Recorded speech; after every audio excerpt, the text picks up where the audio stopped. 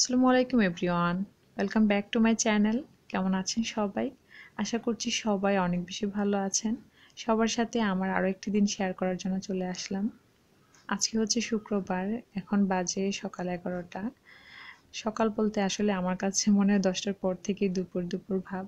তো যাই হোক, দুপুরে রান্না আমি সকালবেলা কমপ্লিট করে ফেলছি। মানে দশটার ভিতরেই রান্না কমপ্লিট করে ফেলছিলাম। তো জাহিনা হঠাৎ করে বলল সে ভুনা খিচুড়ি খাবে। আসলে আমার মানে প্রায় সময় ছুটির দিন ভুনা খিচুড়িটাই করা হয়, কিন্তু ভুনা খিচুড়ির সাথে দেখা যায় বিভিন্ন রকম ভর্তা মানে সবাই পছন্দ করে আর কি। তো যার কারণে আজকে আর ভুনা খিচুড়ি করব না ভেবেছিলাম, কারণ ভর্তার আয়োজন করাটা কিন্তু অনেকটাই ঝামেলা। তো আমি সহজভাবে মাংস, ডাল এগুলি রান্না করে ফেলছিলাম। তো ভাবলাম যেহেতু মাংস রান্না করা আছে, ঝটপট মাংস মানে খিচুড়িটা করেই ফেলি। আর আমি যেভাবে ভুনা খিচুড়িটা করি, একদমই মানে কম সময় লাগে, ঝটপটি হয়ে যায়। তো আলু ভর্তাও করব খিচুড়ির সাথে খাওয়ার জন্য। তার জন্য আমি আলু সিদ্ধ বসিয়েছি।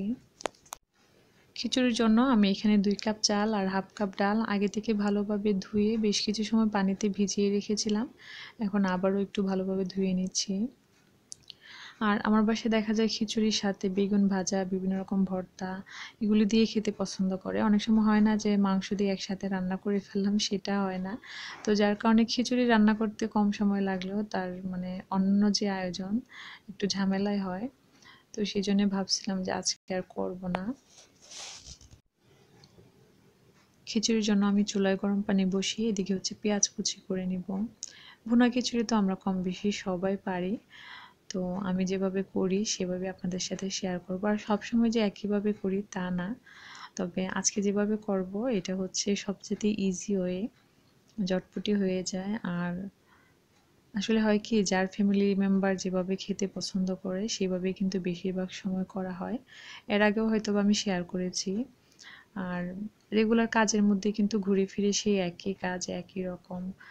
আর রান্না বান্না আসলে আমরা সবাই মোটামুটি পারি। তারপরও দেখবেন যে সেম রান্না এক একজন এক একভাবে করে। ইভেন একই অঞ্চলের মানুষ দেখা যায় এক একজন এক একভাবে করে। তো রান্নার ভেরিয়েশন আমার কাছে সবসময় অনেক বেশি ভালো লাগে। আমার নতুন কোনো রান্না দেখলে আসলে ট্রাই করতে ইচ্ছা করে।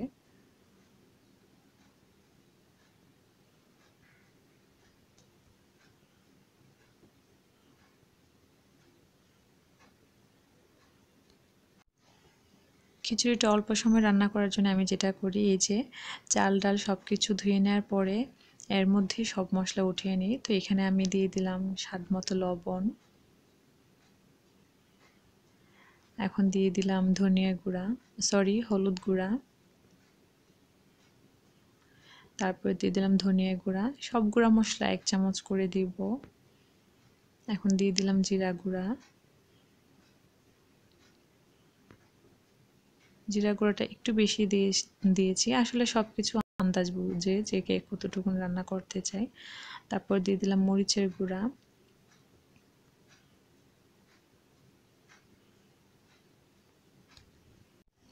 এখন দিয়ে দিব আদা রসুনের পেস্ট।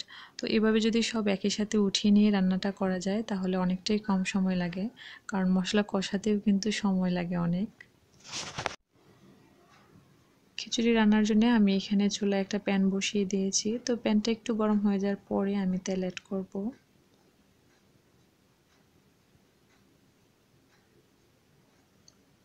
তেলটা আমি পরিমাণ মতো দিয়েছি। আসলে আমি খুব বেশি তেলে রান্না করি না। যারা আমার রেগুলার ভিডিও দেখেন, তারা তো জানেন।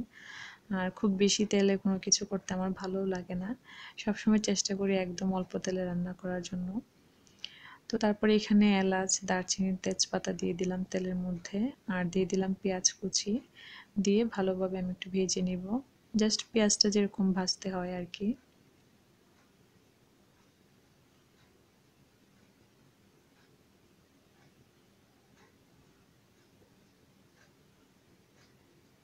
তো পেঁয়াজ কিছুক্ষণ ভাজার পরে এখন আমি যে মশলা উঠিয়ে রেখেছিলাম চাল ডালে, সেটা দিয়ে দিচ্ছি। দিয়ে এটাকে আমি কিছু সময় ভেজে নিব। খুব বেশি ভাজতে গেলে কিন্তু পরে সিদ্ধ হতে অনেক বেশি সময় নেয়। ইভেন দেখা যায় খিচুড়িটা হয়তো মাখা মাখা হয়ে যায়, ঝরঝরে হয় না, তাও সিদ্ধ হতে চায় না। তো এটা যারা একেবারে নতুন মানে নতুন রাঁধুনি, তারা ফলো করতে পারেন যে পোলা বা মানে পোলাও, খিচুড়ি বা আকনি, বিরিয়ানি যাই রান্না করি না কেন, অতিরিক্ত ভাজা হয়ে গেলে কিন্তু আর মানে সেটা সিদ্ধ হতে অনেকটাই সময় নেয়।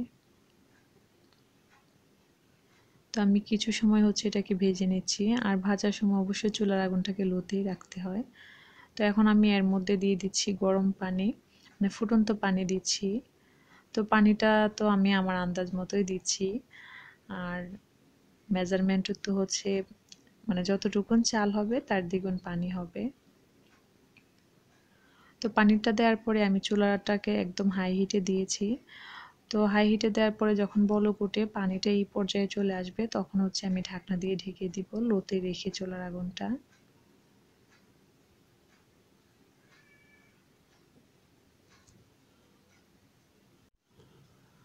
তো লোতে রাখার পরে জাস্ট মাঝে মধ্যে নেড়ে চেড়ে দিয়েছি, আর এক ফাঁকে হচ্ছে আমি কাঁচামরিচও অ্যাড করেছি। তো খিচুড়িটা সিদ্ধ হয়ে গেছে। মানে অলমোস্ট হয়ে গেছে।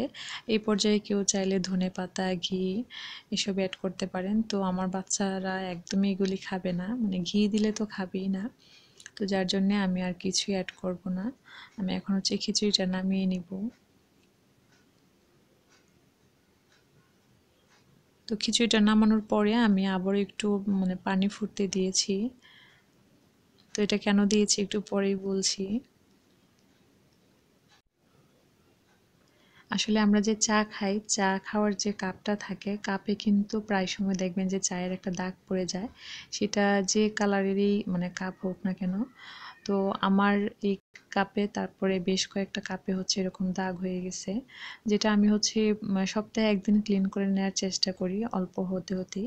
তো এই যে এই কাপগুলি হচ্ছে ইউজ হয় না মানে একদমই ইউজ হয় না। তো ভাবলাম আপনাদেরকে দেখায়ও আর আমি ক্লিনও করে ফেলি। তো আমি হচ্ছে বারবার মানে অনেকভাবেই চেষ্টা করছিলাম দেখানোর। কাপটা সাদা থাকাতে বোঝা যাচ্ছে না, অনেক দাগ আছে আর কি তো এখানে আমি একটা বলে হচ্ছে ভিম লিকুইড নিয়েছি এক চামচের মতো, আর এক চামচের মতো নিয়েছি ভিনেগার আর দিয়ে দিলাম এক চামচ হচ্ছে বেকিং সোডা সব কিছু দেওয়ার পরে এখন আমি যে পানিটা ফুটিয়েছি, সেই গরম পানিটা দিয়ে দিলাম। পানিটা দেওয়ার পরে এখন আমি হচ্ছে কাপগুলি পানিতে হচ্ছে দশ থেকে পনেরো মিনিটের মতো ভিজিয়ে রাখব। আসলে আমার মনে হয় যে এই ধরনের মানে কাপ কিন্তু সবার ঘরে আছে যে কাপে আর কি চায়ের দাগ পড়ে যায়। এটা খুবই নর্মাল একটি বিষয়।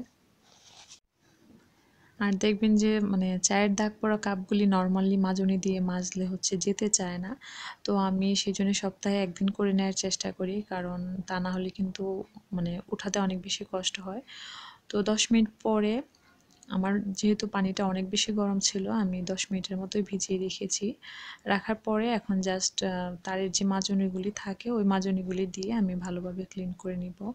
তো যেহেতু দেখালেও আর বোঝা যাচ্ছে না সেই জন্য আর ওভাবে মানে ফাস্ট করে দিয়েছি আর কি তো আপনারা হচ্ছে যারা করেন তো করেন, আর যাদের এই ধরনের কাপ আছে যে চায়ের দাগ পড়ে গেছে, তারা একটা কাপ আগে ক্লিন করে ট্রাই করে নিতে পারেন। আর আমি যেটা প্র্যাকটিক্যালি মানে এক্সপিরিয়েন্স গেইন করি, সেটাই কিন্তু আপনাদের সাথে শেয়ার করব। মানে আমার আগে থেকে কোনো অভিজ্ঞতা নেই, এমনটা কখনো শেয়ার করব না। তো যাই হোক, আমি হচ্ছে সবগুলি কাপে মাজনি দিয়ে মেজে নিচ্ছি। মেজে নেওয়ার পরে আমি কাপগুলিকে ভালোভাবে ক্লিন করে নিয়েছি। এখন পানি ঝরতে রেখে দিব ওইভাবে করে। তো আপনাদের কাছে এই আইডিয়াটা আশা করছি কারোর না কারোর উপকারে আসবে। আর কেমন লেগেছে কমেন্টস করে জানাবেন। এখন বাজে প্রায় সাড়ে বারোটা, তো আমার রান্না কমপ্লিট আমি সব কিছু টেবিলে সার্ভ করে নিয়েছি। তো খিচুড়িটা একটু দেখাই, অনেক বেশি ঝরঝরে হয়েছে। আর খিচুড়ি দিয়ে খাওয়ার জন্য এখানে ডিম ভাজা করেছিলাম। আর এটা তো সকালেই রান্না করে ফেলছিলাম মুরগির মাংস। আর এই তো আলু ভর্তা। আর আচার ছিল, যেটা হচ্ছে নাগামরিচের আচার। আর টেবিলে আম থাকার কারণে মনে হচ্ছিল পোকা উঠছিল। তো যাই হোক, এই ছিল আমার আজকের আফটারনুন রুটিন। আপনাদের কেমন লেগেছে কমেন্টস করে জানাবেন। সবাই ভালো থাকবেন, সুস্থ থাকবেন। সবাই সবার জন্য দোয়া করবেন। ধন্যবাদ সবাইকে। আল্লাহ হাফেজ।